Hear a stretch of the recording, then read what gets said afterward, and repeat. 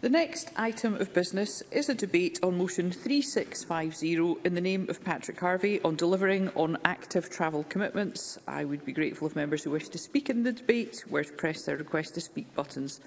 And I call on Patrick Harvey to speak to and move the motion up to 10 minutes, Minister.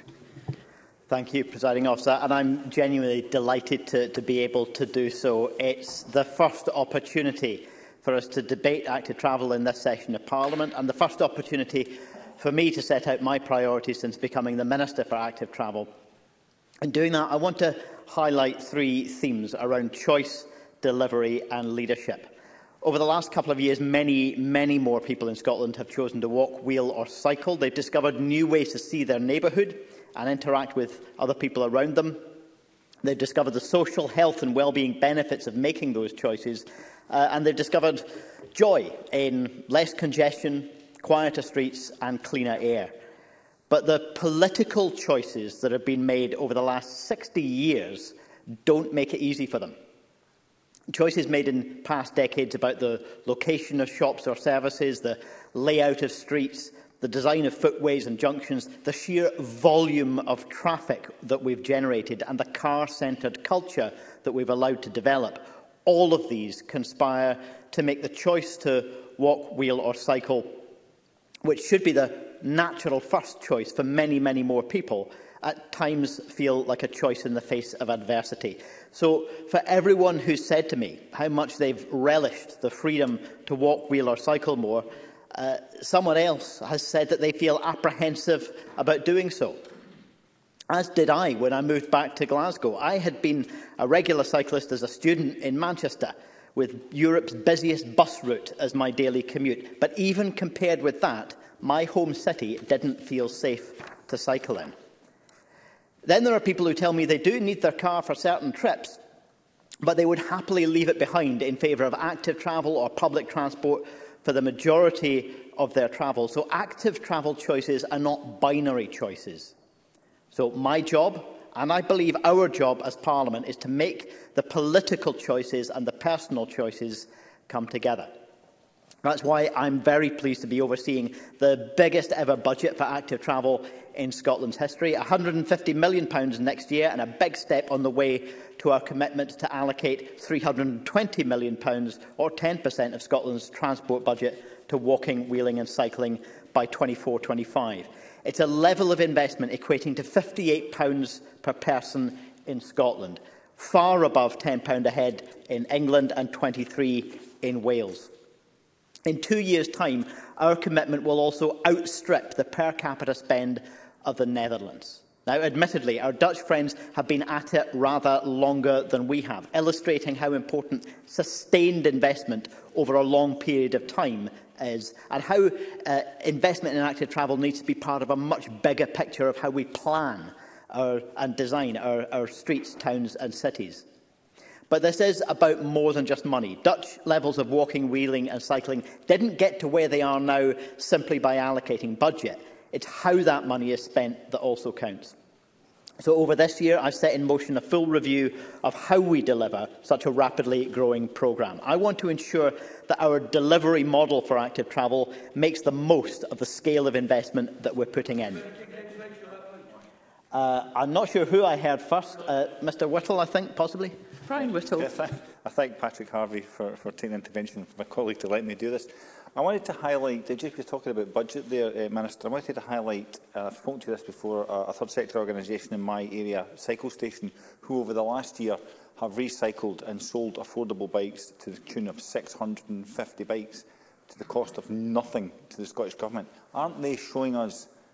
where our money should be and how we should invest and how we should actually deliver on, your, uh, on active travel? Minister. There is, a, there is a huge amount of community leadership in places right across Scotland. We will get the greatest benefit from supporting that community leadership through Scottish Government policies and spending as well. I want to maximize the role that active travel has in the wider transition to a sustainable transport system with fewer unnecessary journeys.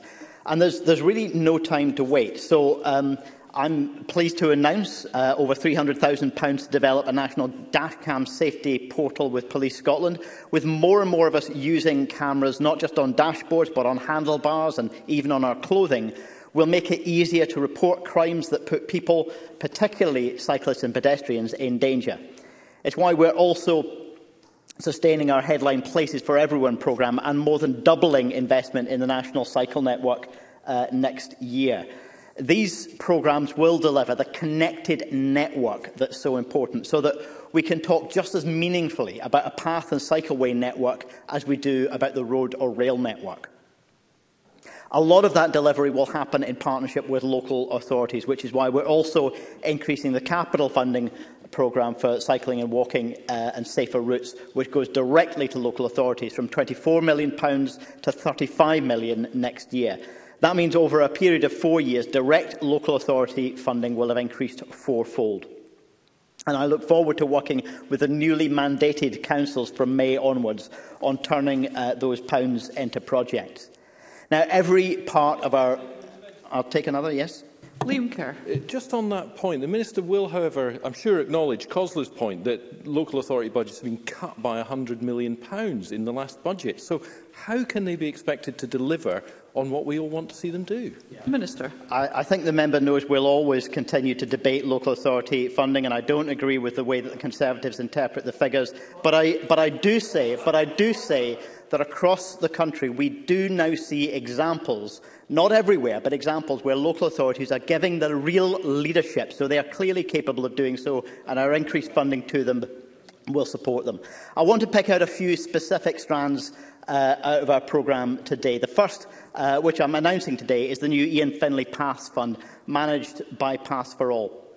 It's named in memory of the Pass for All Chief Officer, uh, Ian Finlay, who very sadly passed away suddenly last year and was a passionate and hugely respected advocate for active travel. This new £1.5 million fund will support small local projects to make improvements to existing path infrastructure and make connections where there are gaps in the network.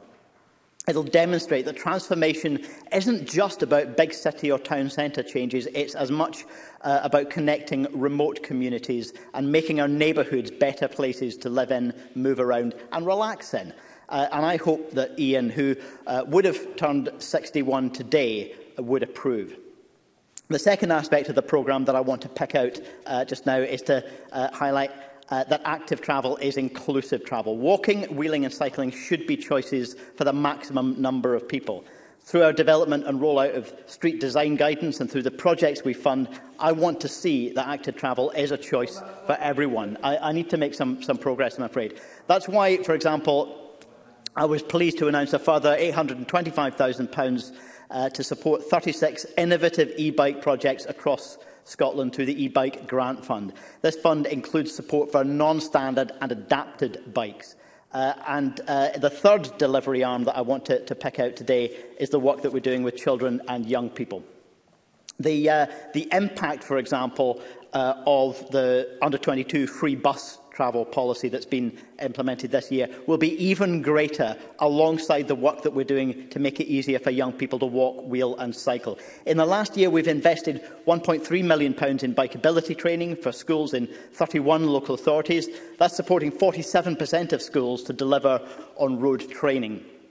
And next year, we'll more than double uh, our grant funding to Living Street Scotland to over half a billion pounds for programmes including Walk Once a Week, involving over 100,000 primary school children and their families in 26 local authority areas to encourage them to walk to school. I know just how passionately young people care about the climate emergency and about the future of our world. They challenge us to respond to that passion. So our job is to give them the choices over sustainable travel uh, that rise to that challenge. And it's the full package that's going to make the difference.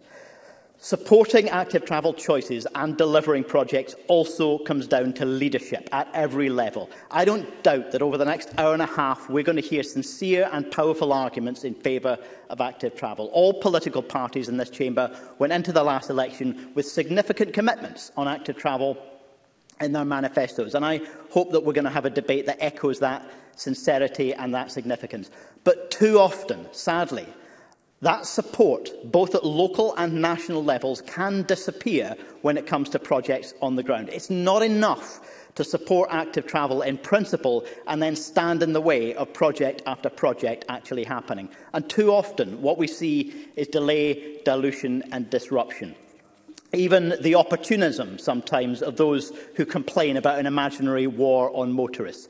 Clear and consistent leadership is so important in order to ensure that people can choose to walk, wheel and cycle more often. We also have to choose. So, presiding officer, we make choices on who gets priority for finite road space, choices on speed versus safety, choices about changing our car culture and achieving a sustained reduction in traffic levels. Choices about what we want our future uh, to look like and our places to feel like. I'm afraid I'm just closing.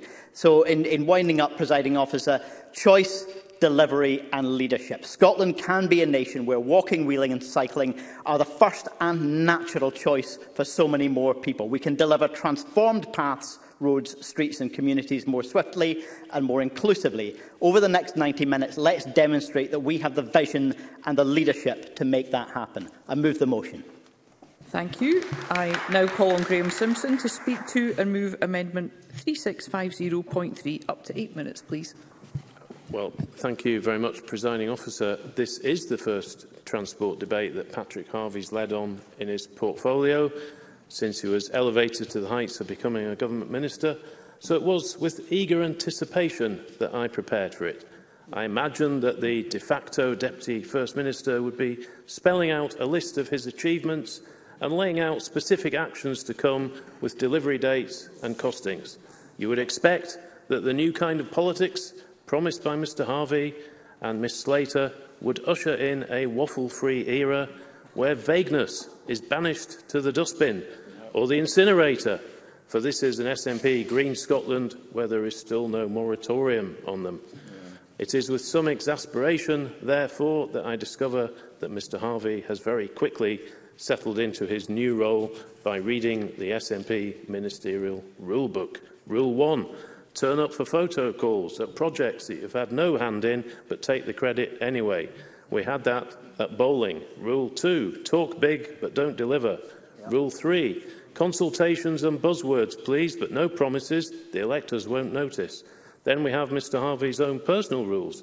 Harvey Rule 1, don't change how you act, now you're a minister. That's actually it. And we saw that when he refused to wear a helmet when turning up for a ministerial photoshop for a bikeability event. Now, I've listened to the Minister's speech, and I have to say I am disappointed. He and I do share the same ambitions on active travel, But let's be clear, there's a huge gap between what the government says is its ambition and the actual delivery on the ground, and that's been the case for years. Now, Mr Harvey may wish to take credit for getting the SNP to agree with our own position that 10% of the transport budget should be spent on active travel, but he's now responsible for making sure that it happens. And I do wish him every success, and he may wish to work with other parties to achieve that. If he wants to reach out for me, I'm, I'm all ears, and I will reach out to him now. Let's work together on this one area of policy where we agree. Travel of all forms, as you know, presiding officer, is interlinked. So I won't just talk about active travel. The Scottish Government wants to see a 20% reduction in car miles by 2030. So within eight years, they want to see us all using cars a fifth less than we do now. How that's going to happen, we don't actually know. I don't think anyone in Transport Scotland knows, and I suspect the Minister doesn't know either. But but yes. Stephen Kerr. Grateful to Graham Simpson for giving way. I mean, the minister said that, that his party is not responsible, but there's no one from his party here other than the minister, actually. That's the point worth making. But he says he's not conducting a war on motorists, but he's actively supported, actually supported the Glasgow Greens who wish to ban all drive-throughs in Glasgow. I mean, I mean, is that not a war on motorists? Graham Simpson. Well, I, I, I do think there's a war on motorists going on. Um, and I think uh, what the government wants to do is to make it diff so difficult to own and drive a car that you just give up. Um, what they don't have is a plan to make the alternatives to cars better. Councils are finally going to get the powers to run bus services, but the regulations won't be through until next year, and it's not clear whether they'll get financial help. We must assume not. So it will be some years before anything worthwhile happens, if at all, Um, and if we talk about active travel, walking, cycling and wheeling, here we have to pin our hopes on some speedy delivery. Where better to turn than STPR2, still in its draft stage? It talks of active travel freeways, which is an American word. They're described as segregated active travel routes on main travel corridors. All sounds good, but no one I talk to seems to know what is meant and where the first earmark for 2025 will be. Now, by 24-25, at least 320 million, or 10% of the total transport budget, should be allocated to active travel. And that is a major increase in a very short space of time, and I welcome it. But it will be councils that deliver on it, and apart from Glasgow and Edinburgh, they don't have the resources to deliver at scale. This is a serious issue, and I would ask what the Minister intends to do about it. You can, as the Minister has recognised, see good and bad schemes across the country. Some of the infrastructure that's been put in in Glasgow is very good, in my view.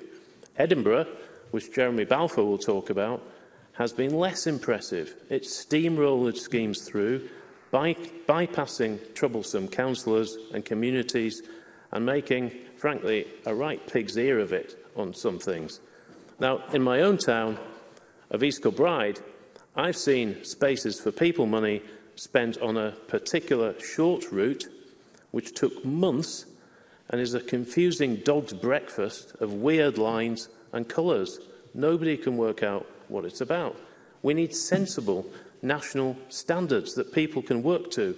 And where, and where councils don't have the staff, the time and the money, then help them out. That's what needs to happen. Our amendment, which I move, talks about the need to train children how to ride bikes, and that's where bikeability, which I mentioned earlier, comes in. There are still too many schools, more than half, which don't offer on-road training,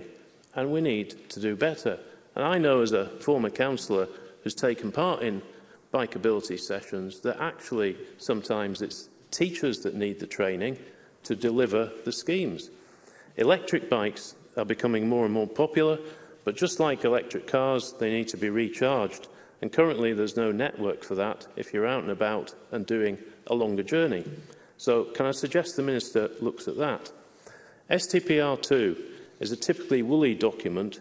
You don't really know what it means, but it needs, needs to align with other policies for instance, planning.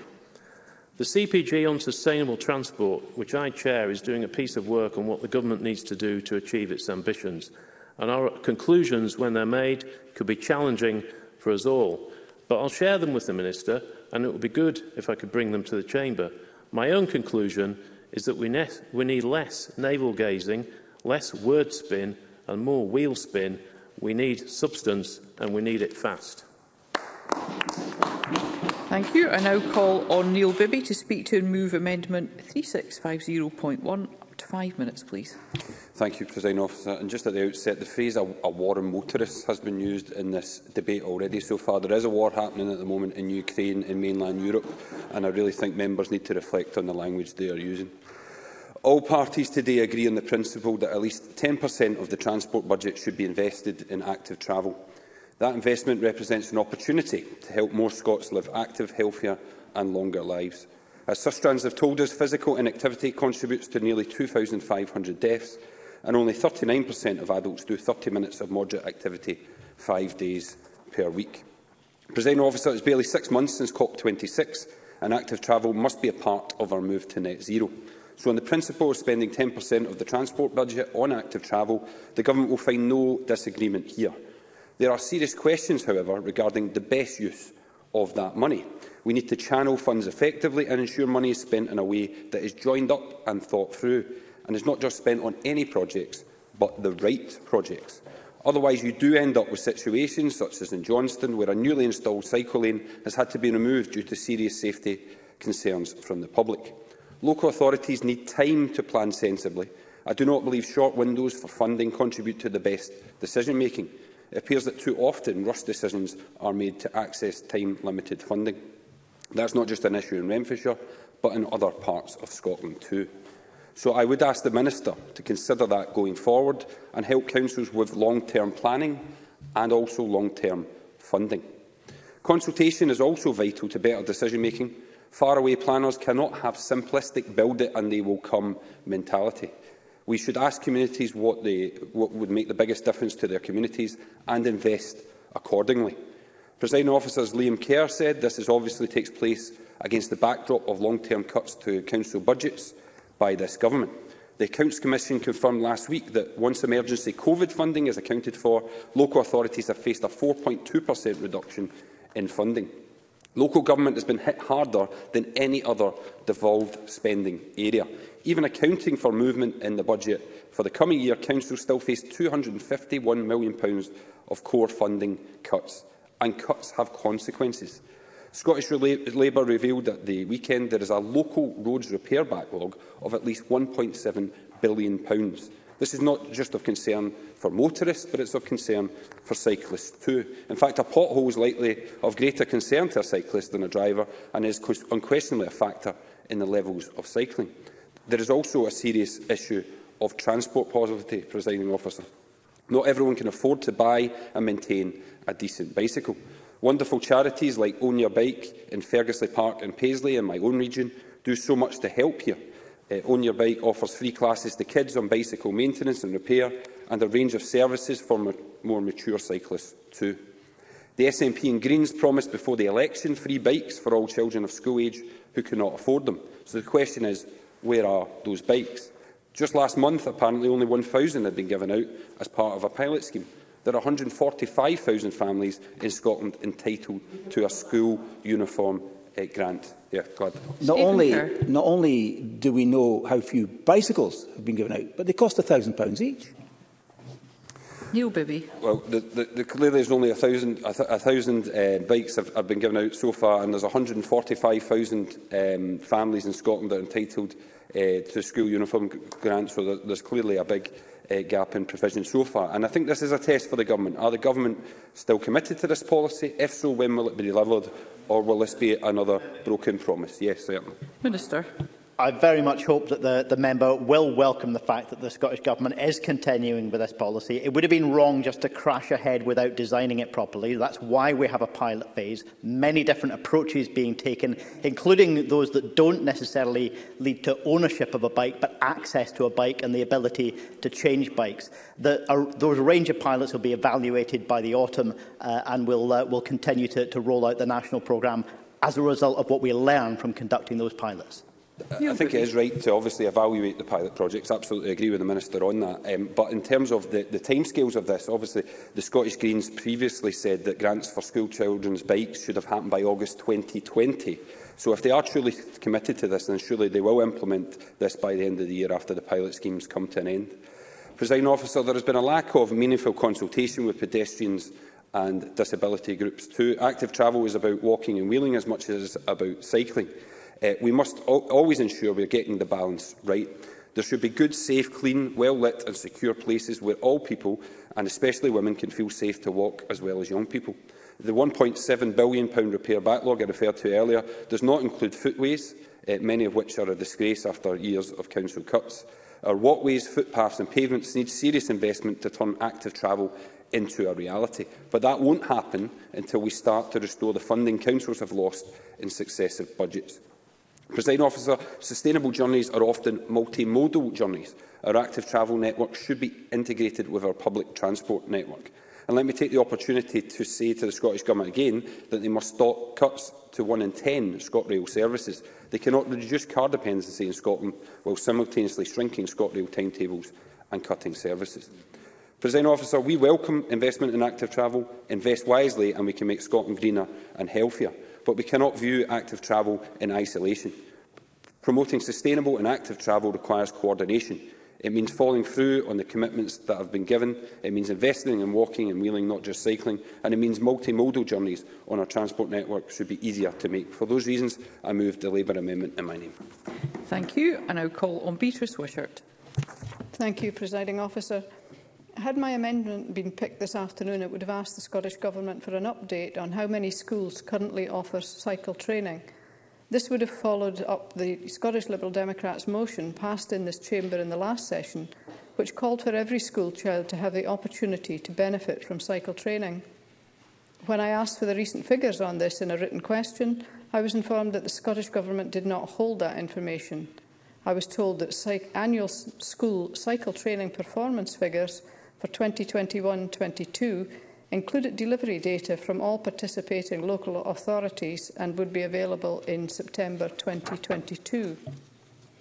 I note that Bikeability Scotland briefing states that 37% of primary schools were offered on-road training in 2020, 2021. Despite national school closures, local restrictions on external instructors and staff pupil absences through illness or isolation – It would be good if the Scottish Government could confirm this figure. And I also note the latest Sustrans data for 2020 shows 3.8% of pupils cycle to school, down slightly from 2019. Investing in cycle training for young people is an investment for all our futures. If we can get the conditions right, we will have a generation of cyclists who would sooner walk, wheel or cycle for short journeys rather than hop into a private car. Our infrastructure needs upgrading to tackle the obstacles which breed a reluctance to cycle on roads alongside cars. Cyclists need to be safe on our roads and feel as safe as possible. Research by Sustrans and Edinburgh Council in 2015 found that just 62% of city residents felt safe riding a bike during the day, falling to 34% at night. The figures for driving a car were up towards 90%. Potholes add further safety concerns. Do you swerve to avoid a pothole? Do you move towards the car or the pedestrians? Meanwhile, we have cuts to council budgets on the way and 1.7 billion worth of potholes to fix. As many more of us return to work to office blocks, we should do what we can to make an active travel commute possible, comfortable and a safe endeavour We've called for funding to be made available to help businesses and others install showers and changing rooms in workplaces and community facilities. We need a new vision on cycleway planning, ensuring routes take commuters where they need to go, keeping up the maintenance of paths and providing signage along them. Further work is needed to join up existing cycle paths and ensure they don't end abruptly. There are significant challenges to improving active travel in rural, remote and island areas – where natural barriers, sheer distance and inclement weather make active journeys difficult. For these locations, the Scottish Government needs to do more to ensure public transport is a realistic alternative to private cars. I hope the Government will take on board our plan for buses, empowering local communities to have a significant voice on routes and not allow routes to only go where profits lead. But for some in Scotland, particularly those in island and rural communities, the car is the only option to travel. So we need to support those people to transition to the most sustainable private cars available. Active travel is and should be a key plank of plans to net zero targets. Like other plans, these require significant investment. Thank you, Presiding Officer. Thank you. We now move to the open debate and I call on Paul McLennan to be followed by Jeremy Balfour. Thank you, President Officer. Uh, can I thank the Minister for bringing forward this debate this afternoon? Following the Scottish Government Green Party Cooperation Agreement, I'd like to begin to commend the Scottish Government for the record investment in active travel over the next year. And as referred, the £320 million dedicated to active travel by 2024-25 will bring us even closer to reaching our net zero targets. The near tripling of the active budget equates to £58 per head of population here in Scotland, and it compares, as the Minister said, to £10 in England, £20 in Wales and £30 in leading countries, including the Netherlands. As he said, we've got a little bit of catching up to do with them. This funding will help us move towards a trans uh, transformational shift needed to help to meet the 20% uh, car kilometre reduction target whilst protecting our climate from damaging transport emissions. The key aim of providing free bus travel to under 22s has now been delivered. Obviously, we read that there were some teething problems, but it was a real statement of intent. The beautiful landscape of East Lothian in my constituency makes an incredible place to walk and cycle. We've got the coastal towns of Dunbar, North Berwick, we've got the Lammermuir Hills and the surrounding villages and towns. The pandemic saw residents and visitors truly appreciating East Lothian's hills and coast. I want to talk about a specific project eh, in East Lothian. Within my constituency, discussions have been ongoing for over a decade for a pedestrian and cyclist-friendly route between Drem and Gullen. A survey conducted during the, lockdown by the Drem to Gullen Path campaign reported that 40% of residents were cycling, 77% were walking more during the lockdown, alongside a drop in car use. 89% of respondents also believe that the Council should significantly increase investment in cycling and walking infrastructure. Recently, when East Lothian Council budget round, it was confirmed that £30,000 would be ring-fenced to help the creation of PATH for locals. Search Trans Scotland in partnership also awarded East Lothian Council £30,000 to examine design options for the first section of the path. That work is now underway. A spokesman for the Gem to Gull and Path campaign was delighted with it. If I can get time... Oh, I've only got four minutes. Yeah, um, you, you can get the time back, uh, okay. uh, Mr McLean. Brian Whittle. Very grateful uh, for the member to giving way. I wonder if he would recognise that uh, there's an inequality in access to uh, the ability to cycle between the lower and higher SIMD areas. And it's really, really important that we make sure that that inequality is tackled. Paul McLennan. Uh, thanks, uh, thank the member for the intervention. I'm actually going to touch on that in just in a little second. Um, a spokesman for the DREM to Gullen Path campaign was delighted with the increased investment and said, investing in active transport, uh, travel infrastructure is vital to keep pedestrians and cyclists safe and encourage healthier and greener journeys. In East Lothian, the Council is also looking to pilot active transport hubs in each of our main towns, and I would hope, with increased national investment, this will become the norm as part of the local planning processes. Walking, cycling, bus and train links must be interlinked as possible if we are to achieve our target of reducing car journeys by 20 per cent And that, I think, is the important point that you mentioned. So on that regard, I think that's really important. We also need continued investment in public transport, just like the new railway station being constructed in Eastwood in, in my constituency at this moment. The Scottish Government commitment to investment in the SIS Trans 30-year National Cycle Network Plan and a new cycling framework for active travel is also very welcome. Each local authority needs to, needs to do the same locally as also. East Lothian, like many other constituencies, is a mix of rural and urban towns and villages, so connectivity between villages and towns must be considered as well as within towns and villages. Demand of transport must be part of the solution for our towns and villages. We need this not only in a manner to reduce emissions, but to help our local villages sustain their local schools and help our villages thrive. Partnership between Scottish Government, local authorities, SUSTRAN and other active transport keys groups are key in local delivery. Now, as a member of the Local Government Housing and Planning Committee, NPF4 and local development plans must ensure that any new developments are an integral part of an existing settlement and active transport links are a condition of any grant of consent. Thus must be part of any formal consultation processes and beyond. And I think, coming back to the point that Colin Smith made as well, designs of these links have to be co-produced, or I think it was Neil Bibby, my apologies, on that. Uh, design of these links have to be co-produced with local groups. As any of us are in conclusion with commitment from the Scottish Government to active transport is very welcome. I hope to see local councillors increasing their commitments to active travel and supporting projects like the Gem to Gilland Path campaign going forward. Thank you. Thank you very much, uh, Mr McLennan. I can advise the Chamber we've got a bit of time in hand, so anybody that wants to take or make an intervention, that should, uh, that should be uh, recompensed. And I call Jeremy Balfour uh, for uh, around six minutes, Mr Balfour. Uh, thank you, Deputy Presiding Officer. Um, active travel is a great thing. It is functional and it is healthy. It allows us to experience the physical and mental benefits of exercise while going about our daily lives.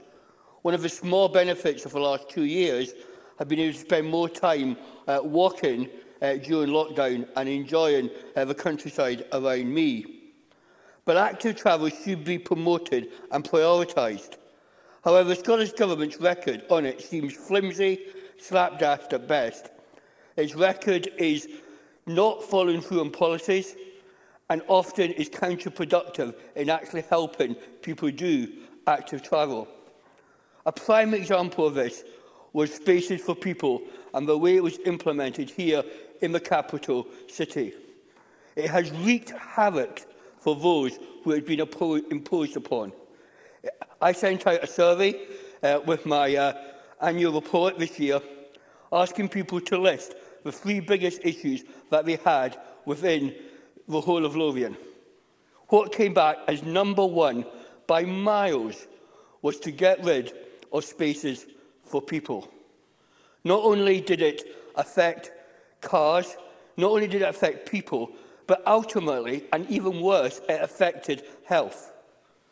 The school where my daughters go to is on a main road. Normally the traffic is heavy, but it keeps moving. Because of spaces for people being put in, literally it took 10 minutes to go 20 yards. Buses, cars, everything came to a standstill because of this scheme.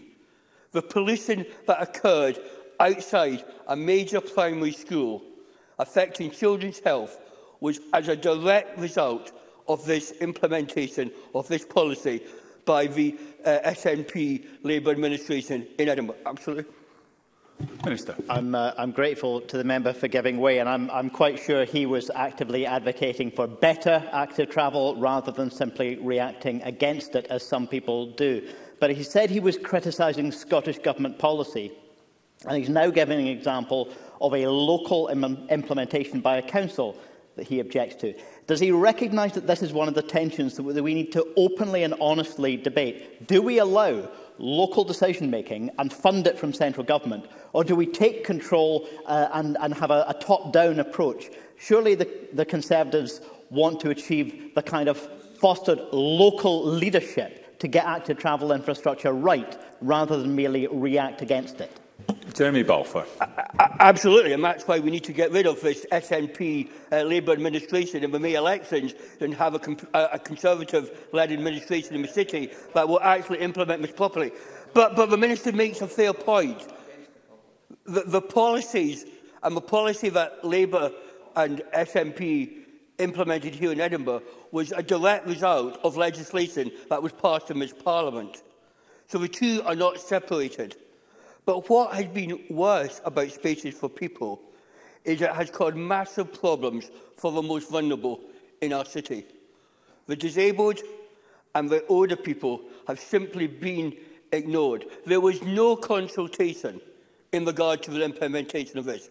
When older people, when disabled people, when mums with prams pointed out the dangers of this scheme, they were ignored completely. With less parking spaces in town, I'm just going to come for a moment, that's okay. With less parking spaces in town for those who have low mobility, the scheme effectively excludes many, dis people, many disabled people from town centres and high streets. Not to mention the barriers that have been erected create further obstacles with people who have visual impairment or other physical impairments to street crossing and other activities.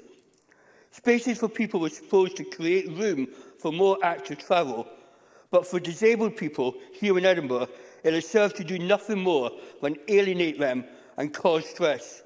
Once again, ideological and dogmatic driven policies from the government have come at the cost and determined of dis the disability community here in Edinburgh and in other parts of Scotland. Absolutely.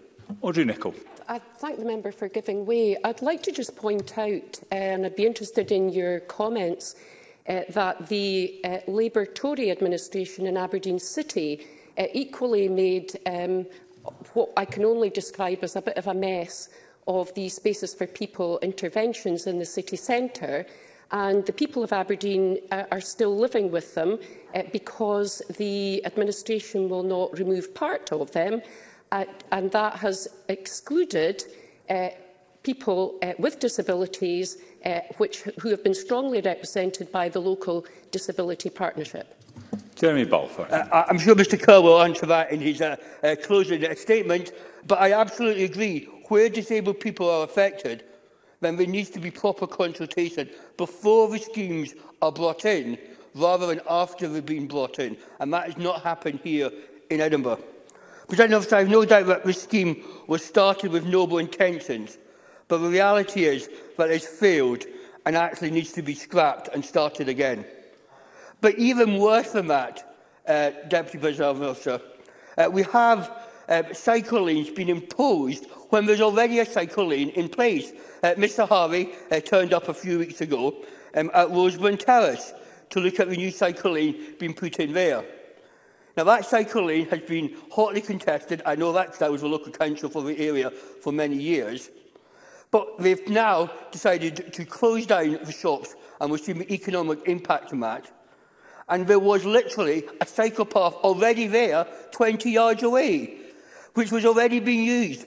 Now, it may have needed slight upgrading, it may have needed a slightly better way to reach it, but it was there and was being used by cyclists already.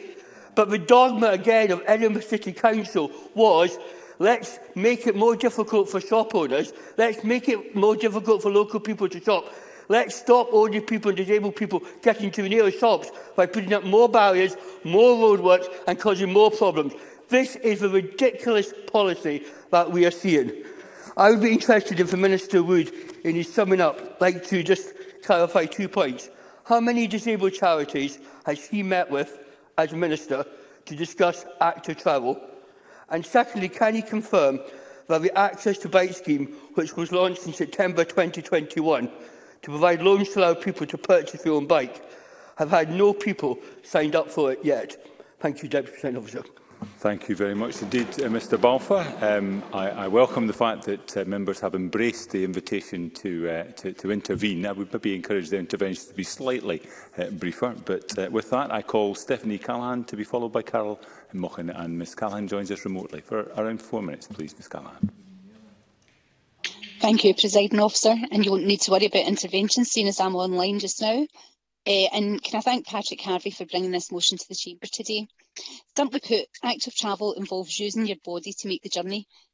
and it's an important part of leading a healthier lifestyle with the potential to help decarbonise transport systems in our towns and cities too.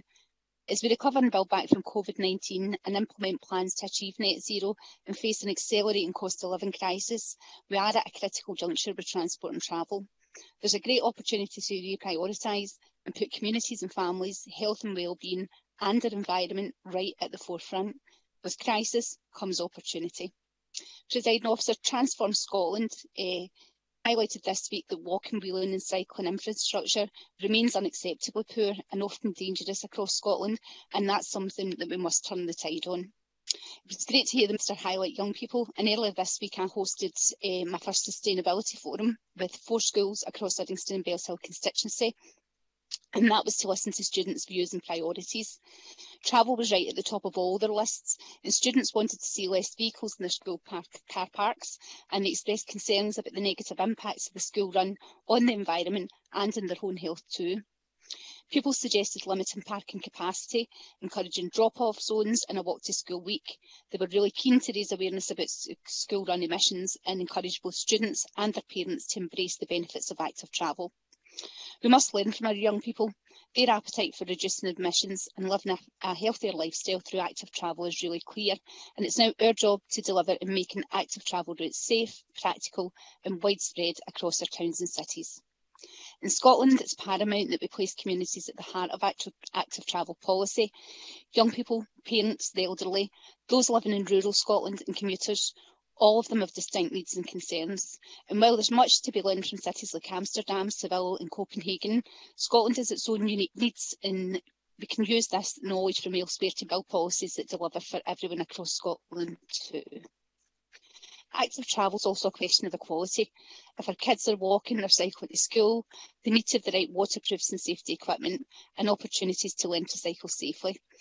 This to ensure a cultural shift in Scotland that's got equality at the core, and I warmly welcome the 12-month pilot project to deliver free bikes to school-aged children who can't afford them, and to see this rolled out more widely. As highlighted in today's motion, the commitment to invest at least £320 million, 10% of the transport budget, as has already been said, for active travel by 2024-25 will be transformational, and equity has to be the core of distributing that funding. New funding for footpaths, significantly increased funding for local authorities, and more than doubling the funding for the National Cycle Cycling Network should all be getting warmly welcomed across this chamber. These are encouraging funding initiatives by the Scottish Government, and I'm keen to see local plans for new cycling facilities at Strathclyde Park in my own constituency become a reality. North Lanarkshire Council will involve community groups in planning the land to ride areas, and there will be excellent links to the surrounding area and foot and wheels. This is a great example of the joined up and participative community partnerships that we need to see to become a more active nation. Presiding officer, the long-term vision is in place and by focusing on strategic investment, listening to communities and placing equality and accessibility at the core of our policy, I'm confident we can deliver on active travel commitments, boost health and propel ourselves towards net zero. In closing, let us all go forward with ambition and determination to level the route map and make the successful journey to Scotland's active travel destination. Thank you. Thank you very much indeed, uh, Ms Callaghan. I now call Carol Mochan to be followed by Stuart McMillan. And again, Ms Mochan joins us remotely. Around four minutes, please, Ms Mochan. Thank you, Presiding Officer. We all know the benefits of active travel are wide-ranging, from the environment to the health and well-being of the population, Encouraging and facilitating active travel is something on which we should place significant focus, and that is why I reiterate Scottish Labour's commitment calls for 10% of the transport budget to be afforded to active travel. Presiding officer, we do not make this request without reason. Today's debate has recognised the progress we have made, but we must focus more on what there is still to do. Isolation, poor housing, health inequalities and poor transport links impact the poorest and most vulnerable in our society more than anyone else. It is therefore crucial that any active travel plan has the livelihoods and opportunities of those in our most deprived areas at its core. Yes, we can welcome investment in e-bikes in cycling paths, walking paths and more, but it does little to improve the health outcomes for those most in need if we do not bring these investments closer to our communities make it as feasible as possible for people to use active travel routes. Equitable access to active travel is a factor in tackling health inequalities and that must be a priority for this Parliament. As we know, the health inequalities know that health inequalities create some of the biggest challenges facing Scottish society. And Indeed, presiding officer, for active travel to become a successful reality, as mentioned by my colleague uh, Neil Bibby, it is crucial that Scottish Government improves its performance in two areas where it has failed in recent times. In the first instance, the SNP must stop cutting local government services. With the political will and pressure from the SNP backbenchers, this government could actually create high quality, well-funded, accessible and affordable services, including active travel up and down the country. To cut the budgets of councils and thus cut their ability to provide solid travel infrastructure and then come to this chamber today with a self-congratulatory motion should shame SNP and Green MSPs who stood on a, a manifesto of investment but have presided over horrific cuts to the services our communities rely upon. And further, presiding officer, cutting train services and increasing the cost of train travel amidst a cost of living crisis, that is putting strain on the pockets of millions. It's not going to encourage people to choose active travel. It is vital that more people choose to walk, cycle or use public transport instead of the car, both for the future of generations to come and our planet. But we must make that choice a clear and easy one to make The Scottish Government has failed in that regard. In concluding, presiding officer, active travel is a worthwhile cause to pursue. I'm glad to have this debate today. Indeed, I had the privilege of joining Paths for All, based in Kilmarnock train station in my own constituency, on a walk through one of the newly installed active travel routes in Kilmarnock. And it was clear to me how beneficial this could be if rolled out properly and more widely. However, we have to get the basics right. right. We have to take a gendered approach to ensure that these routes are accessible for women, to ensure they feel safe, and in turn be accessible for other vulnerable groups such as the young, elderly and the disabled. We have to invest in rail and bus services, keeping services frequent, at low fares and close to the communities.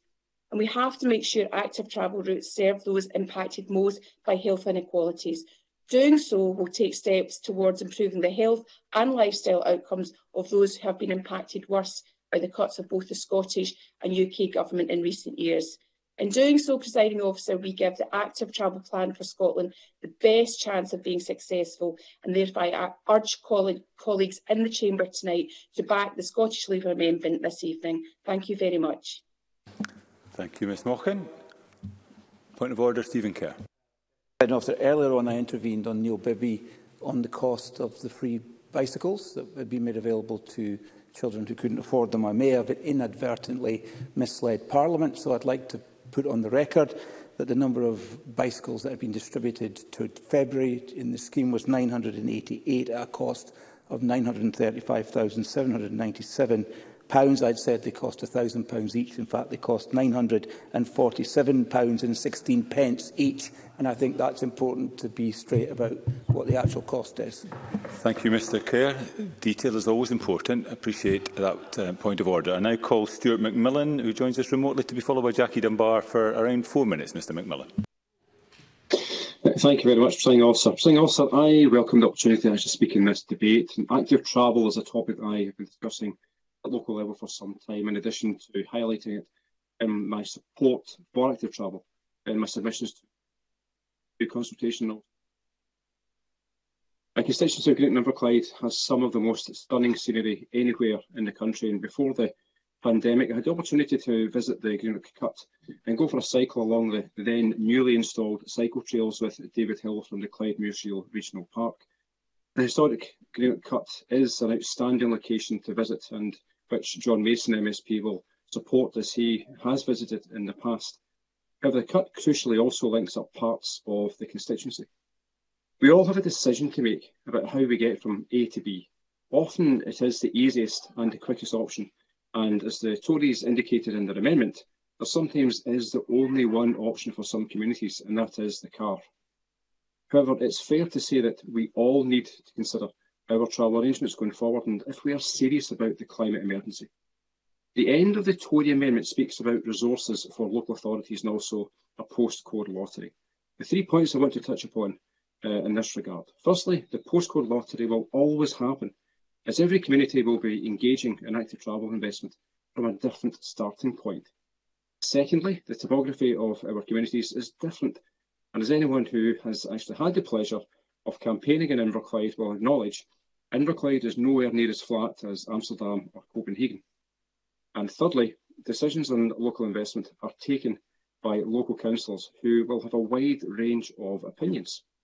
Right outside my constituency office last year, Inverclyde Council installed a cycle lane running from Battery Park to Greenock Town Centre.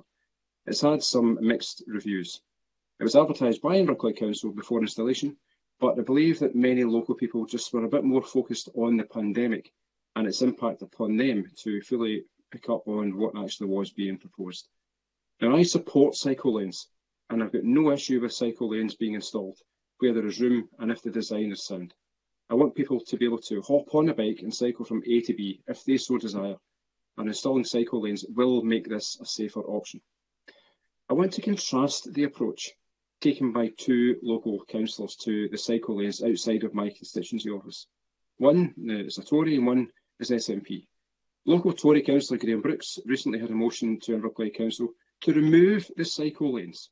It thankfully was rejected. In the Greenwich Telegraph, he commented that he had only seen four cyclists use the lanes since they were installed last year. And he stated, and I quote, it's very clear for constituents that the cycle lane was never requested it's not wanted and it's not needed. Now, that certainly contradicts uh, a lot of the comments we heard from some Tory MSPs this afternoon. Contrast that with the SNP councillor Chris Curley, someone who uses his bike and is a local champion of active travel. And he stated, if you want to try and encourage people to use things, you need to have them there for a period of time. Are we really thinking about the future of travel in Inverclyde? Is everybody in a car? It isn't. You've got to give people options. I wholeheartedly agree with Councillor Curley. We need to be bold in our aspirations, and I'm confident that over time, the cycle lanes will be used more and more by locals, as well as opening up Inverclyde to more tourists. So, in effect, the Scottish Tories in this chamber are calling for something that their council colleagues are voting against. The rank hypocrisy on the Scottish Tories in this issue is there for everyone to see. Active travel benefits our country in many, many ways reducing our carbon footprint and the obvious health benefits associated with being active make it something we should all be supporting and improving. And with that, presenting officer,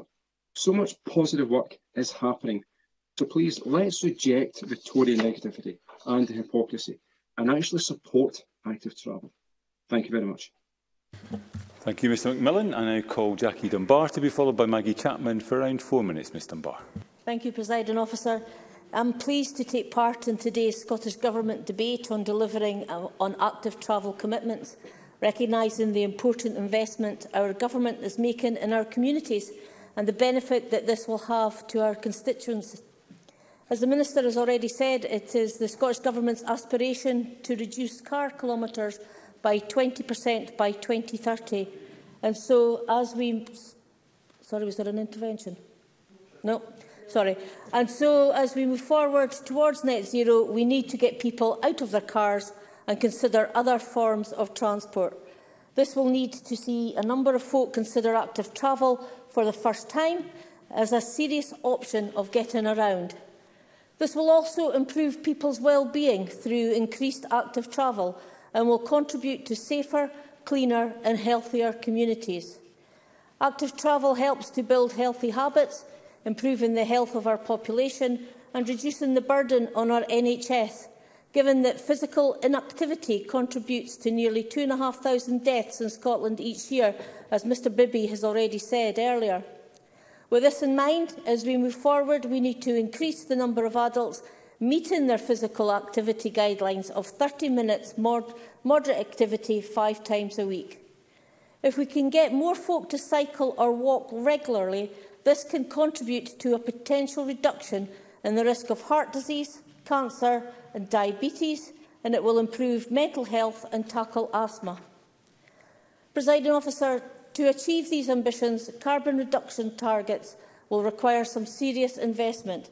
It is therefore welcome that the Scottish Government is committed to investing in public transport by spending 10% of the transport budget by the end of 24-25 on active travel. I was very pleased to attend a walkabout with Sustrans in my constituency of Aberdeen Donside recently, where we discussed the active travel networks in the city and the challenges that face local authorities while they challenge the behaviours of drivers and get people out of their cars. It is key that we change habits, and the best way to do that is by ensuring our young people are participating in active travel, as it is then more likely that they will continue to do so in their adult life. The Scottish Government's commitment to provide free bikes for all children of school age who cannot afford them will make such a difference to so many of my constituents. The benefits of increasing access to bikes for children are obvious. It ensures equality of opportunity in building life skills, confidence, independence and embeds healthy and sustainable travel choices into everyday life. It will also increase their options through affordable travel to education, work or further training to ensure they continue on a journey to a positive destination. At this point, presiding officer, I'm going to give a shout out to a local uh, project that I have. It's the Middlefield project. They just now have bikes that they give out for long-term loans and they can help with the servicing and fixing of those bikes to the children. Uh, they do an awful lot more in my community, but I just wanted to give them a wee shout out for that. Presiding officer, we've a long way to go to reach our net zero emissions targets. But if we continue this investment in active travel and investing in our young people, we can change habits for the better and ensure a sustainable future for generations to come. Thank you. Thank you very much indeed, Ms Dunbar. And I call Maggie Chapman to be followed by Fiona Hislop. Jeremy Balfour, point of order. Uh, thank you, Deputy President. Um, I always look forward uh, to uh, Ms Chapman's um, speeches. But my understanding is that you're meant to be here for opening speeches if you're taking part in the debate. And I don't think um, Maggie Chapman was here for any of the opening speeches. And I wonder whether that is a problem in regard to and her today. Thank you very much, uh, Mr Balfour. Um, your understanding of standing orders is correct. Uh, Ms Chapman, though, had advised uh, the presiding officers before um, that she had prior commitments that uh, she was uh, bound to attend and had permission from the presiding officers to be absent um, at the start of the, uh, the debate. But the point you make in relation to standing orders is absolutely well made and one I would take the opportunity to, to reinforce. But with that, Maggie Chapman, a generous four minutes. Thank you, Presiding Officer. And can I welcome the Scottish Government debate on active travel? Can I also offer my apologies to the Chamber for arriving late and my thanks to the presiding officer for giving me dispensa dispensation for that. I'm standing in for my colleague Mark Ruskell, who is absent from Parliament for a while. With Greens in government, Scotland's world-leading commitment to radically transform our transport system in line with our net zero ambitions are finally backed up by significant long-term investment in active travel. Our vision for integrated, safe and inclusive local active travel infrastructure that prioritises walking, cycling and wheeling for everyone can finally become a reality. For far too long, our transport systems have been cast in the image of car users. Our cities and towns have been designed for cars first and people second.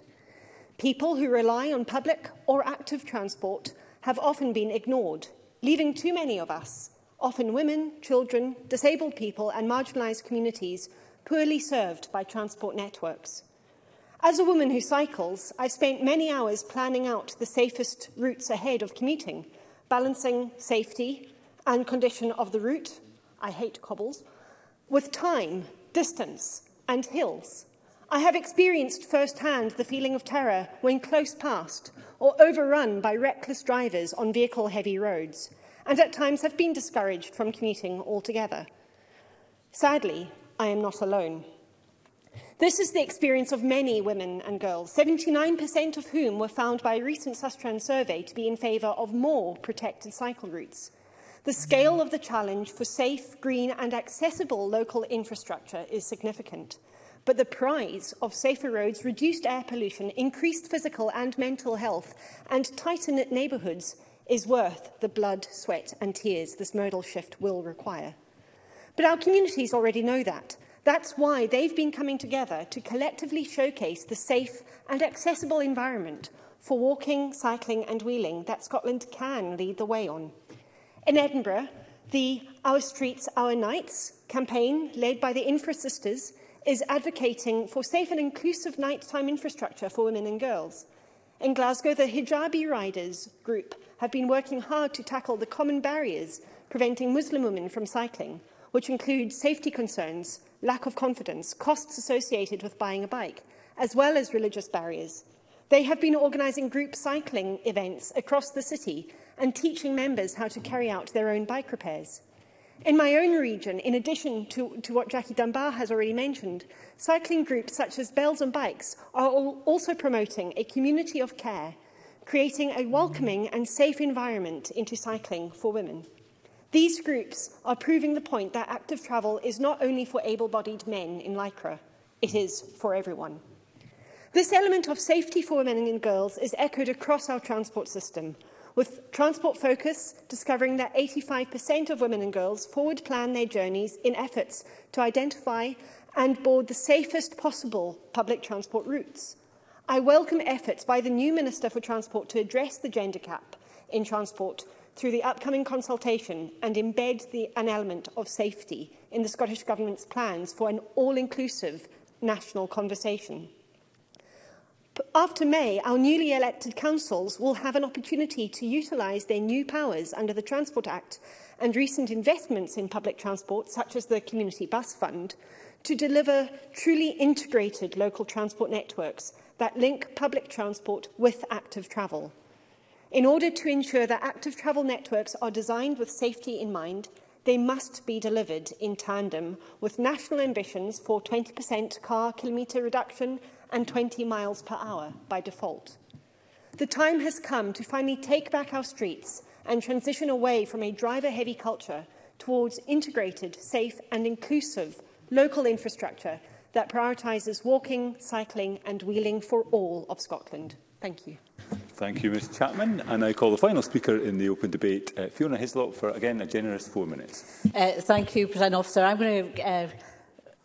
shape my remarks from the local, the hyper-local, the national and uh, also the global and international.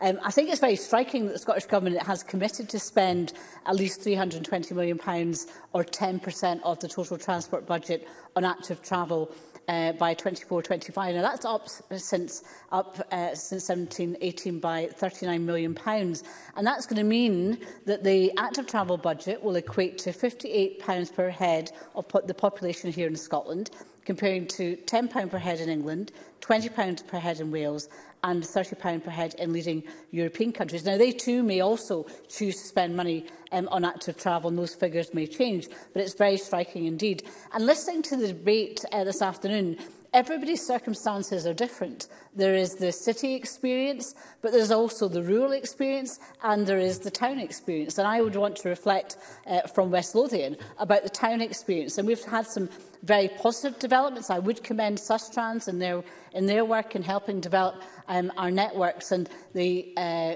Armadale to Whitburn cycle path has made a difference. It also provides access to trains. And I also want to reflect on how we can encourage people in that commuting active travel to have that walk, wheel, cycle, but to a bus or a train. And that will have an impact on our wider transport issues about affordability, accessibility and the provision of public transport. Because to me, that is the key to see that step change to mean that people have less use of their cars. But you're starting to see that uh, uh, prospect in hand. And that will also mean, and dare I use the term spoke, but a hub and spoke approach to how we look at active travel in my constituency and indeed many across the central belt. We have many towns, former mining villages, which are very long, have lots of spaces in terms of the pavements and the roads, um, but also have very interesting routes by which people could travel to um, to, to work and to travel to their uh, transport hub. Winchborough, which is a growing town in my community, has already worked with uh, Scottish Canals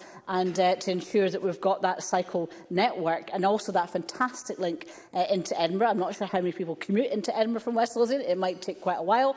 But you know, in terms of people actually using our canals as walkways to work, um, you see that already happening in terms of how they're used in my constituency. Uh, I think the e-bike provision is going to be hugely important because if we want more people, not just men in Lycra, uh, to take part, then we are going to have to have... Um, I'm going to come back to men in Lycra, don't you worry. Um, uh, uh, the e-bike provision is going to be really, really important. But I also think it's going to have to have practical steps, common sense steps. Uh, uh I'm not sure if you're a man in Lycra, uh, but I'm happy to take the intervention. Brian Whittle. Uh, uh, as a man, as a man who's long left Lycra behind, um, I wonder whether uh, Hislop would agree with me that it's important um, to increase bike racks on trains to have that connectivity between uh, cycling and getting into work. Uh, yes, indeed. In a, in a former capacity, I, I encouraged uh, the provision of bike racks for tourism provision, but we need it more for, um, obviously, for commuting and other provision. But also safe, the safe aspect, which is also for uh, cyclists knowing that their cycles are safe. It means lighting. It means safety, it means cameras around stations, etc. And I think that's very important. And also for women uh, walking uh, and increasingly walking to, to, to work or walking uh, to the transport hub, lighting is going to be very important. So some of the issues are going to be very, very practical. And this is where I get hyper-local. It should have taken an MSP, myself, to sort a tiny piece of road. Uh, it was actually a path, it wasn't even a road. It, the ownership was in question, Capston Walk, in Linlithgow.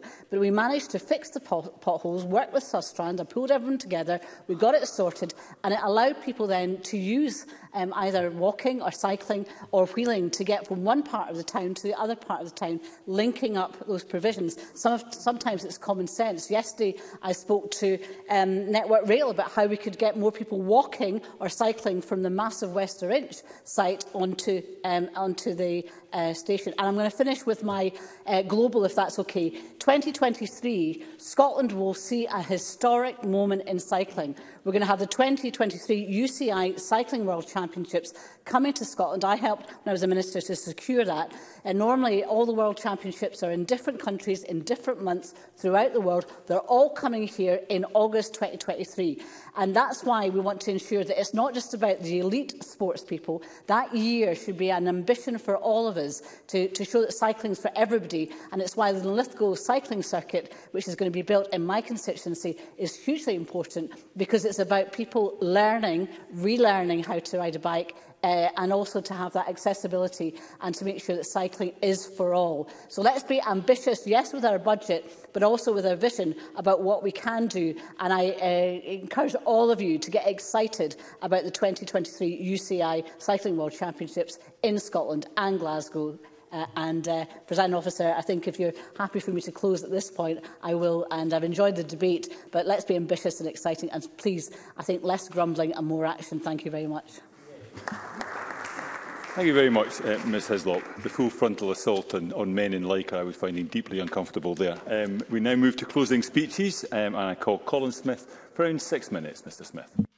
Uh, thank you very much, President Officer. Today's debate has, I think, shown a, a real cross-party recognition um, indeed consensus when it comes to the importance of active travel. That's not surprising.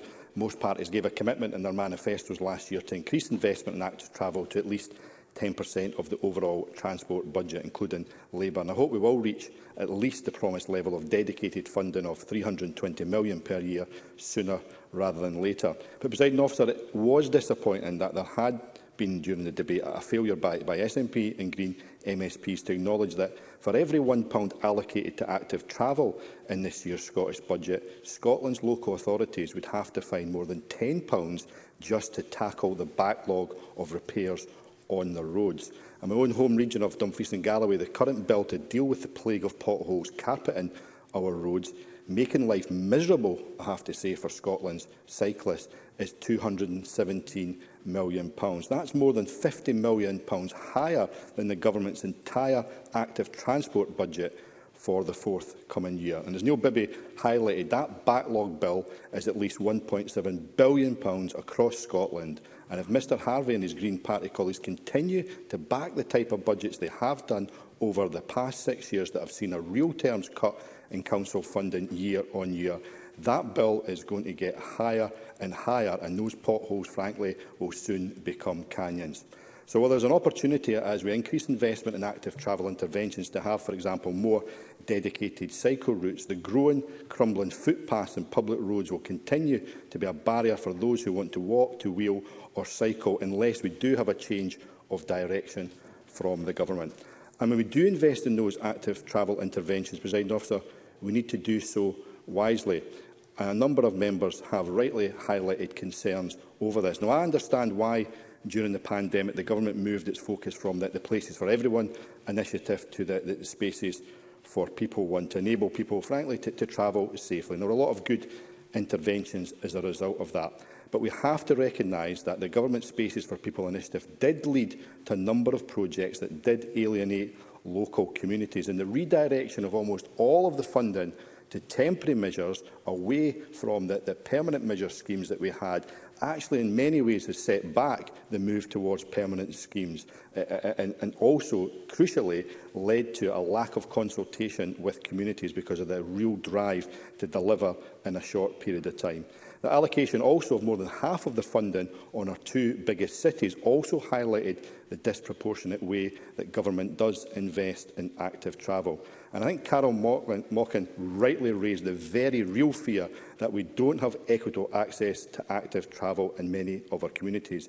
We know the communities that lobby loudest, and I wonder if the government have carried out a, a proper mapping exercise to see where exactly investment in active travel interventions are being made. I suspect those deprived communities are the ones that once again are missing out communities because communities do have to be, presiding officer, at the very heart of all our investment. I, I spent a great deal of time as a, as a local councillor and chair of Dumfries and Galloway Council's Economy and Environment Committee pressing the case for investment in active travel. And the projects that I was involved in that were the most successful were those that involved the community and were actually part of wider regeneration. The partnership, for example, in the, the Queen Street area of Dumfries Town Centre between Sustrands the Dumfries and Galloway Council, local housing associations, but most... them uh, certainly will, yeah, yeah.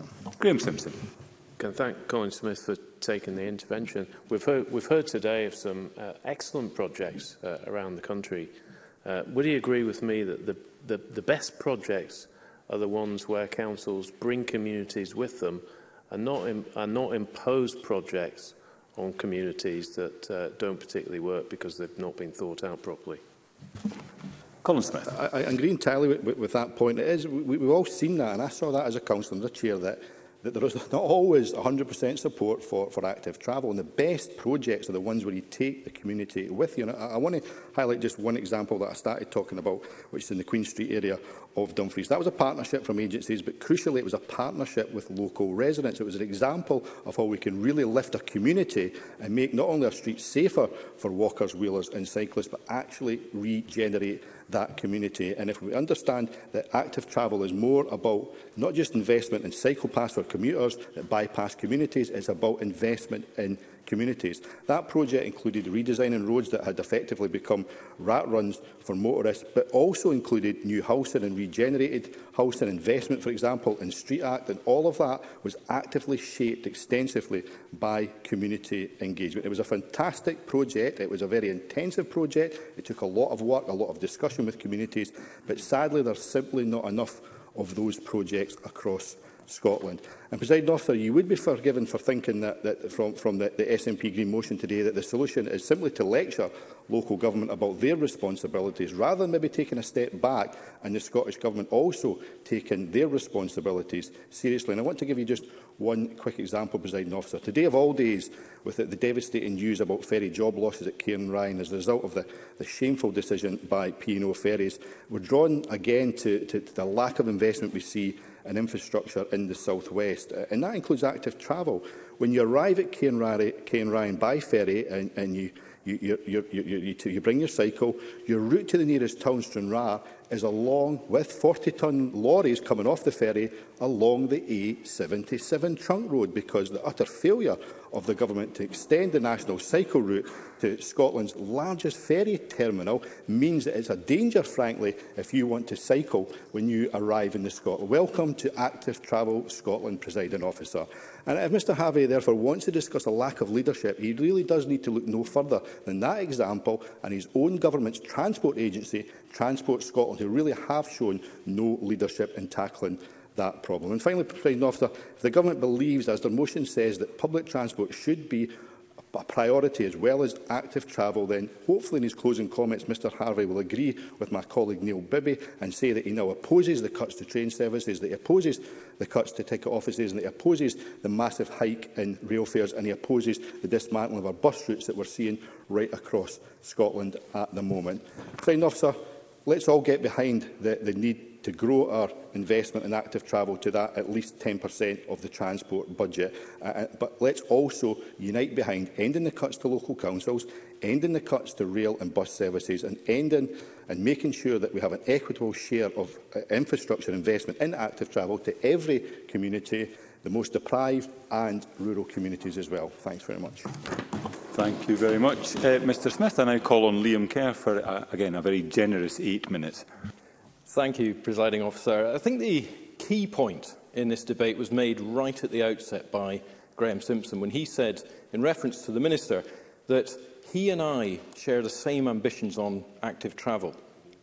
And it's clear from the Labour amendment, which we can support, that there is a broad consensus in this area.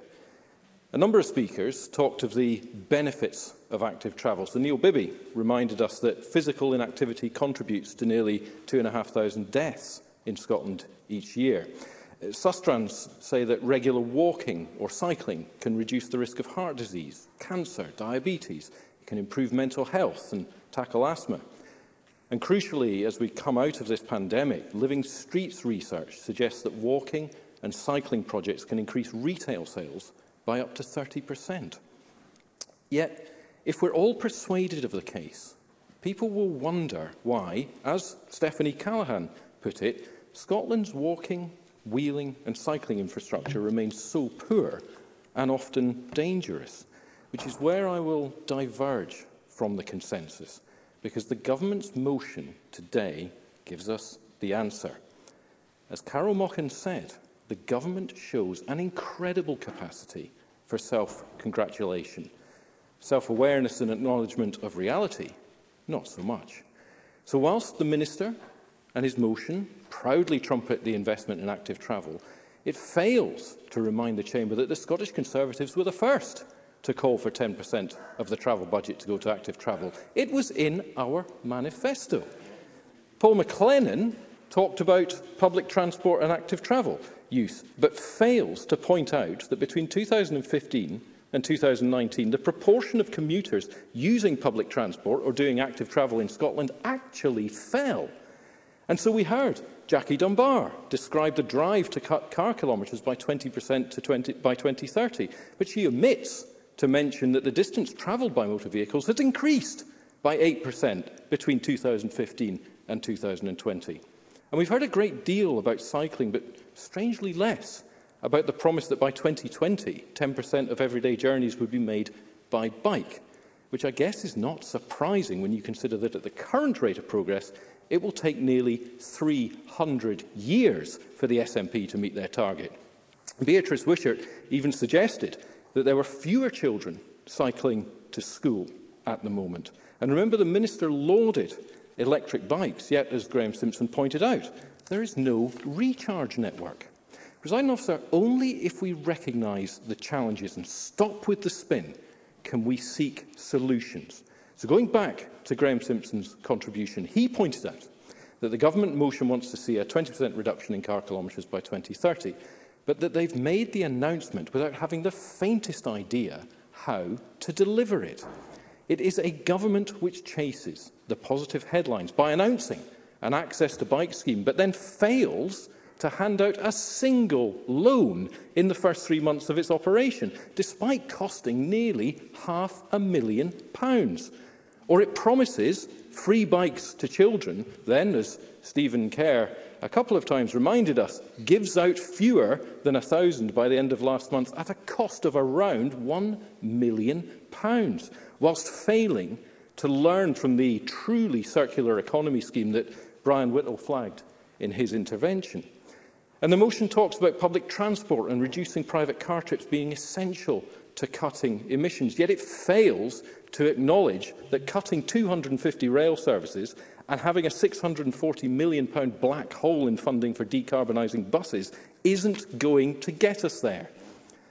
And, President Officer, a crucial point is made by Transform Scotland in their briefing, where they pick up on the motion's expression of hope that local authorities will deliver active travel. They say this is entirely inadequate, and on that they are unquestionably correct. Because look at the context in which the government hopes local authorities will achieve this. The motion lauds significantly increased funding for local authorities, yet COSLA say £100 million was cut from local authorities' budgets this year. The Minister's response to my intervention on this? COSLA are wrong. It is a government which hopes local authorities can do this, and the, minister, the Minister's intervention earlier on suggests he wants to see local leadership, yet as Sustrans put it, local authorities have been under significant budgetary pressure for two decades, leading to significant shortfalls in the numbers of council officers available to coordinate and deliver measures to support active travel.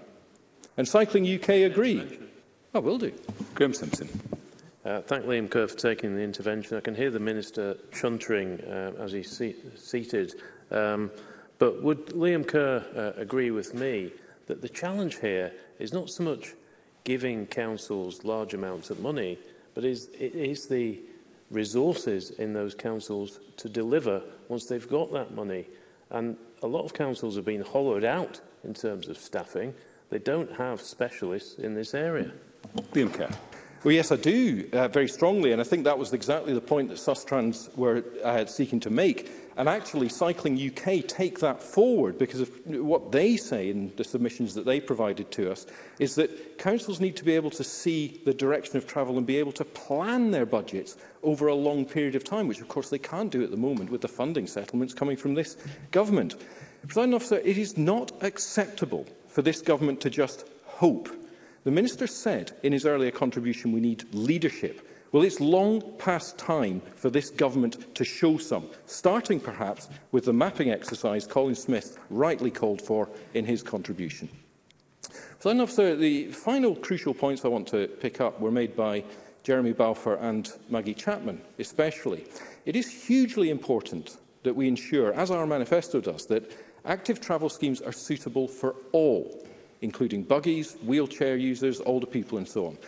Maggie Chapman, I thought, laid out the issues particularly well, and I felt it was such a complete analysis that rather than try and summarise, I will just simply commend the official report to members who didn't hear it. It was a very good summary. Yes, Maggie Chapman, you won't hear me say that too often, I'm sure, but uh, I will hear, certainly. Jeremy Balfour said schemes brought in must not exclude disabled people and those with visual impairments. And he posed a question for the Minister in his closing, which I'll remind him of, just to make sure he picks it up.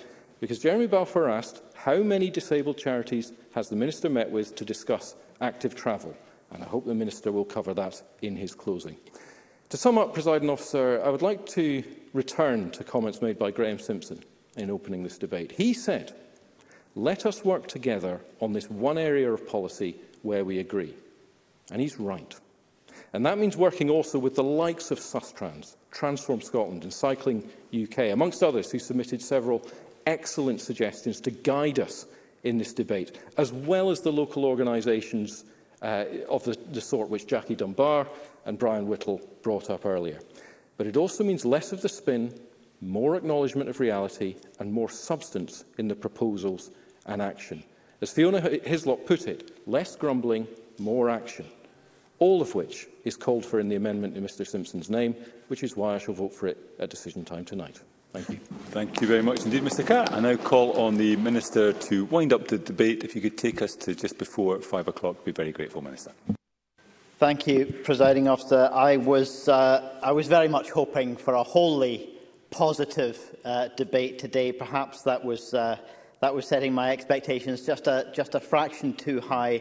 But there were very many positive contributions. Very many uh, members uh, made positive contributions to the debate uh, about the public health and climate imperative, this, this combined imperative that we have to achieve a sustainable transport system and the role of active travel within it. Uh, members including Paul McLennan and Carol, Carol Mochen uh, placed great emphasis on that about partnership with the, the third sector, and, uh, and a number of members commented on that, including Stephanie Callaghan and uh, uh, Beatrice Wishart. And, uh, in, in relation to uh, some of Beatrice Wishart's other uh, comments, yes, I would uh, say that over a third of a million children have been trained via bikeability since 2010, and we're committed to continuing to, to build on that positive track record uh, and, uh, and the role of, of local leadership, not just local authorities, but also at community level, was touched on by a number of members, Brian uh, Whittle, Paul McLennan,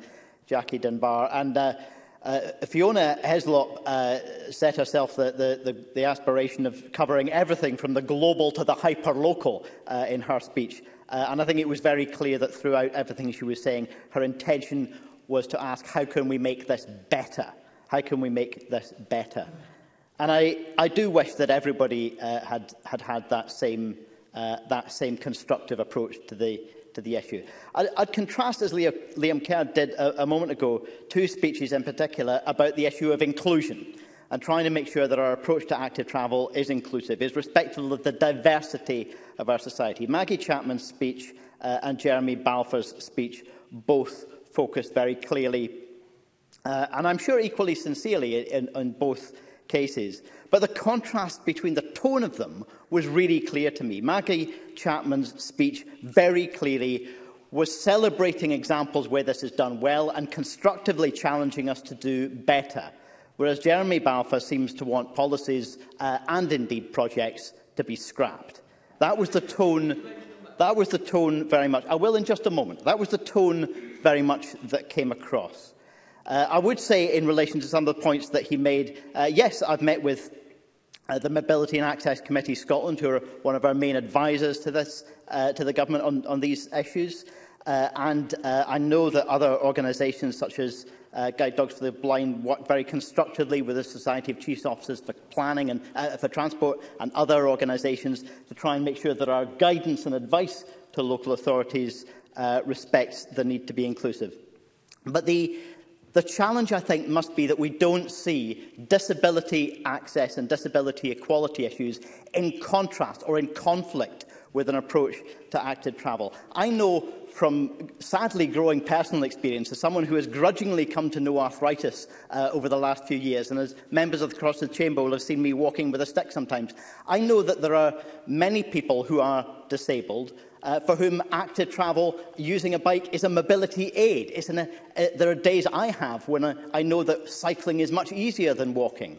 And we need to ensure, uh, that, as well as that, the access to adaptive bikes, to the wide range of bikes that can uh, en enable a great many people with different kinds of disabilities to travel actively as well. So this must be about how we do both, not seeing uh, the two issues as in conflict with each other. And I give way. Jeremy Balfour. Uh, can I thank the Minister for giving way? Can the Minister understand that there is genuine anger within the disability community that when things like you in Edinburgh space are imposed without any consultation, that how do that disability community be heard? They want to play a constructive role, but they're simply not being listened to or being asked for opinion before. So can he suggest to me and other disabled people, how does that happen if local councils don't engage before schemes are imposed? Minister.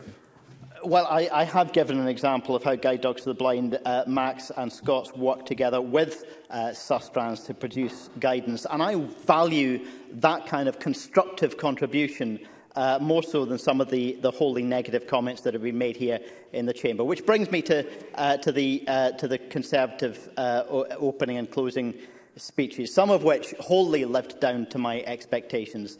Uh, Graham Simpson clearly had uh, uh, written his, uh, his opening paragraphs bemoaning the lack of detail about funding and specific projects. He must have been very disappointed then that my opening speech mentioned so many clear, specific examples uh, of specific uh, figures for what we're doing to increase funding uh, and the specific projects that we're working with. He said he wanted us uh, to develop national standards. He must not have been listening to my opening speech when I talked uh, about the Cycling by Design uh, guidance that's been updated. He wanted us to provide more money uh, at local level. He must not have been listening to my speech when I talked about the additional funding, including that going directly to local councils to deliver this work. And he fully He fully lived down to my expectation uh, when he used part of his, part of his speech uh, to, uh, to yell, wear a helmet at me. Look, this government, like every other government in the UK, does not make wearing helmets mandatory because the evidence would not support that. I, like every cyclist, make a decision for myself about whether a helmet is something that I wish to wear. And like every other cyclist, uh, I have angry drivers yelling out their window, wear a helmet at me, uh, when they should be paying attention to their responsibilities uh, on the road. I, I deeply regret that Mr Simpson thinks it's appropriate to bring that very same energy into the chamber.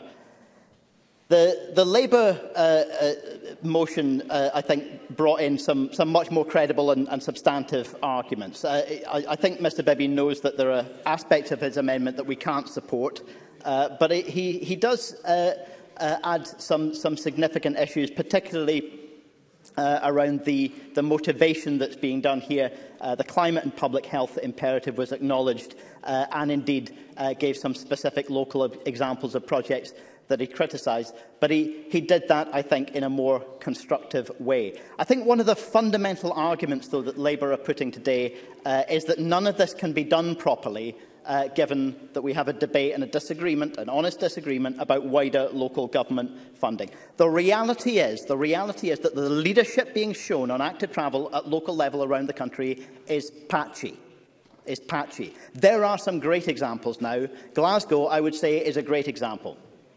I wouldn't have said that 10 years ago. I might not have said that five years ago. I might well have been scathing about the Uh, the level of respect that is given to active travel in Glasgow uh, those years ago. But now, very clearly, not just because of the support and the funding that is given by the Scottish Government, but also because the political will exists there at local level. Uh, they not only have, uh, I'm going to continue to engage with the, the, the Labour arguments for the time being, not only because of that, that support from the, the Scottish Government, but because of political leadership at the, the local level, they have invested in specific uh, infrastructure and they they have a long-term plan to continue to do that. And I want to pay tribute, as she's not restanding in the coming election, to Anna Richardson for the work that she's done on that. Over the, over the coming year, over the coming year, presiding officer, and I think I have less than a minute left, uh, over the coming year, presiding officer, as I've said, we're going to engage in a transformation project about the delivery model. And there are substantive issues that we all need to grapple with, particularly about the role uh, of local leadership. We have heard some uh, people here uh, using this debate to unleash their inner Nigel Farage and call for the, the cycle lanes to be ripped up or to condemn uh, particular councils for not ripping them up or for building them in the first place. If we want the Scottish Government could simply allocate that £320 million by 2425 25 just purely according to where we think the maximum benefit will be in terms of road, uh, uh, tra transforming modal shift. That wouldn't give the, the fair crack of the whip to every part of Scotland. We could simply split that funding up by a local authority and we wouldn't foster the, the kind of local leadership that we see in some local authorities but we don't see from others. We do need to respond, uh, in, in closing, presiding officer, to some of the constructive challenges that have been put by the Transform Scotland briefing, uh, who clearly welcome what we're doing, and are constructively challenging us to go further. That's the kind of engagement that I think will make the Scottish Government's programme on delivering active travel better rather than simply uh, complaining that there are specific examples uh, that people don't like in their own neighbourhood. If we want to get this right, if we want to be uh, a nation where everybody inclusively can choose to travel actively uh, and sees that as a first natural choice We need to change a great deal about how we deliver this, not just spend money. And so every political party across the chamber has a responsibility to foster that local leadership and make sure that we're advocating for making it better rather than railing uh, against projects, as, as I'm afraid too many have done in this debate today. Thank you. That concludes the debate on delivering on active travel commitments. It's now time to move on to the next item of business, which is consideration of motion 3612 on legislative consent motion, cultural objects protection from seizure bill UK legislation. And I call on Neil Gray to move the motion. Formally moved, President Officer. Thank you, Minister. The question on this motion will be put at decision time. The next item of business is consideration of Business Motion 3677 in the name of George Adam on behalf of the Parliamentary Bureau on Good Food Nation Scotland Bill and any member who wishes to speak against the motion should press their request to speak button now. And I call on George Adam to move the motion. Thank you, President Officer, and moved. Thank you, Minister. No member is asked to speak against the motion. Therefore, the question is that motion 3677 be agreed. Are we all agreed? Yes. The motion is therefore agreed. The next item of business is consideration of Parliamentary Bureau 367 Parliamentary Bureau Motion 3678 on approval of an SSI and I ask George Adam on behalf of the Parliamentary Bureau to move the motion. Thank you once again, President Officer, and moved. Thank you, Minister. The question on this motion will be put at decision time and there are six questions to be put as a result of today's business. And the first is that motion 3647 in the name of Ivan McKee on Subsidy Control Bill UK legislation be agreed. Are we all agreed? Yes. The Parliament is not agreed, therefore we'll move to a vote and there'll be a short suspension to allow members to access the digital voting system.